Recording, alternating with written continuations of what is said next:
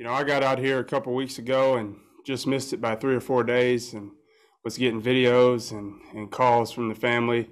And I couldn't believe, you know, seeing how much snow and the temperature drop, you know, being from Texas, that's uh, it's not normal. You know, they say the weather's crazy. It could be hot and cold um, just by a blink of an eye. But yeah, my family's doing good. There were some power outages um, around their neighborhoods. Um, but for the most part, um, no water. You know, they, they had water.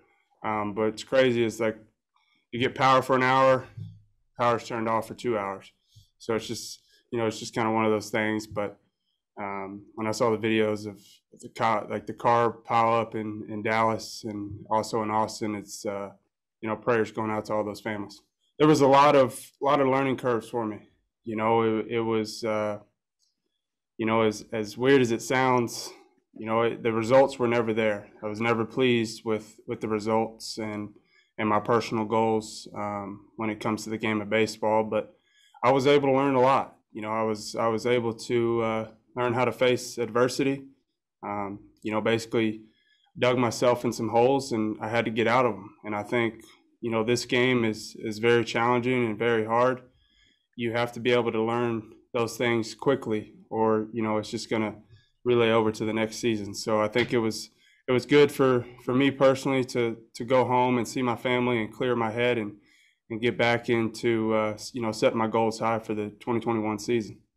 For me, I think it was uh, very challenging. Um, you know, like you said earlier, not having you know a set time. Um, you know when the season was going to start, there was just a lot of a lot of challenges that you know us as players had to deal with for the first time, as well as everybody um, including our coaching staff. It was it was just you know kind of a, a strange year, um, you know, but that's no excuse. I think overall, um, the biggest the biggest thing that I would say is it was mentally for me, and I'm a I'm a big believer in um, you know we've we've thrown a thousand innings through our baseball career. We've done it a thousand times.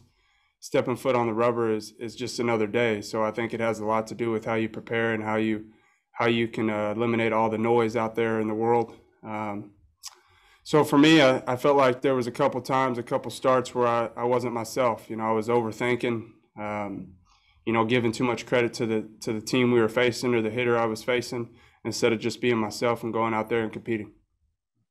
I can tell you one thing: I'm I'm hungry. Um, you know, I'm excited to get back out there. Uh, we have such a special group, and uh, you know, having having you and having Snell and Musgrove and those guys, Lamet, um, you know, to look up to and to learn from those guys, it's I'm really excited. But you know, overall, um, a couple things I worked on was just getting my fastball back. Uh, never been like a big analytical guy or or breaking down that stuff, but I know that you know the way the game has developed.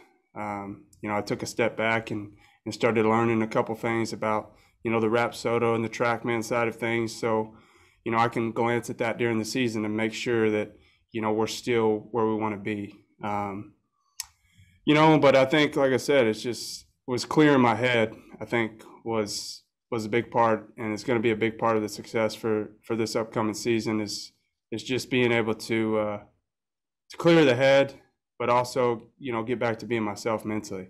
Um, fastball, like I said, was a I think was a big uh, problem for me last season. You know, I had more horizontal break than I've ever had. Um, so being able to, to take a step back and and throwing a couple more bullpens this off season than I have in the previous years um, to really dial that in and get ready for spring. You know, being a taller pitcher on the mound, I my biggest success rate is whenever I'm north to south. You know, I, last year I was east to west. You know, I was I was pulling off.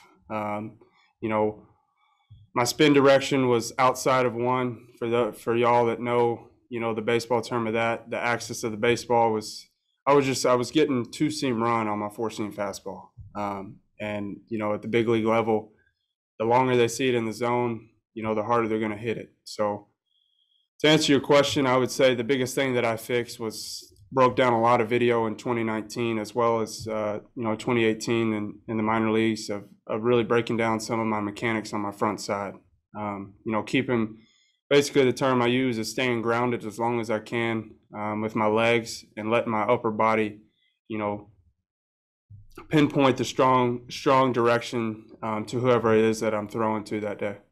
I, also believe that you know messing around with the cutter uh, towards the last season, um, you know, showing that late, I think honestly helped get my fastball back. Um, you know, because when you throw a cut fastball, you have to kind of be on the outside of it and you have to really stay behind it.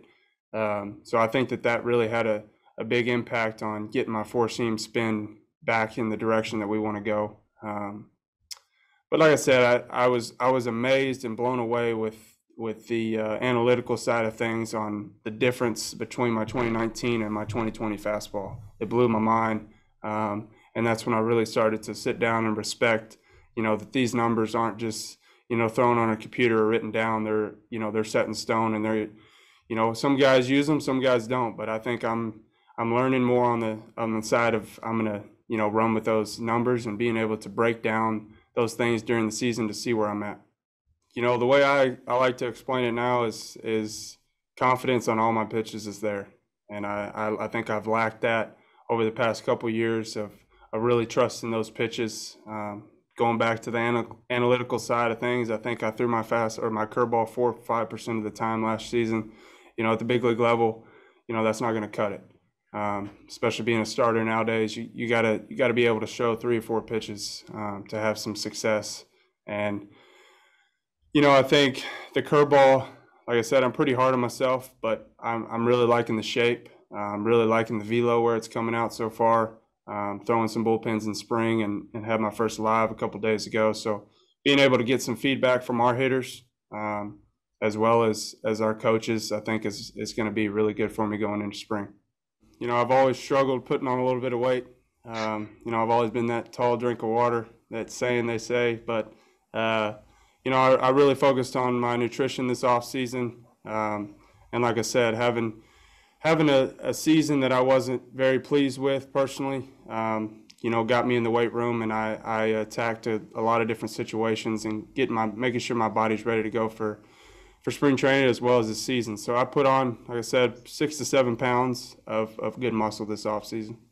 I bought some land out in uh, Texas, about 25 acres. have like a little little cabin that I'm staying in, and 30 minutes is the nearest grocery store. So I had, you know, once every two weeks, I went to the grocery store and, and stocked up, and I cooked every night. And I think that, had a lot to do with um, being disciplined, knowing that I can't drive over to Whataburger and uh, you know get a double meat cheeseburger. I had to you know stay disciplined with with eating my chicken or broccoli or fish, whatever it was that night.